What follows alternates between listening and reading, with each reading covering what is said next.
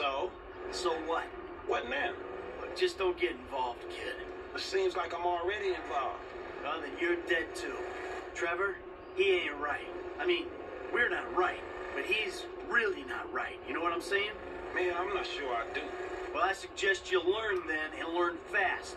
Otherwise, he'll eat you. And I don't necessarily mean that metaphorically. He thinks you'll eat meat. No doubt. But ask yourself why I did what I did. Was it so bad? Did I really have a choice? You ask yourself that before you make any moral judgments on me.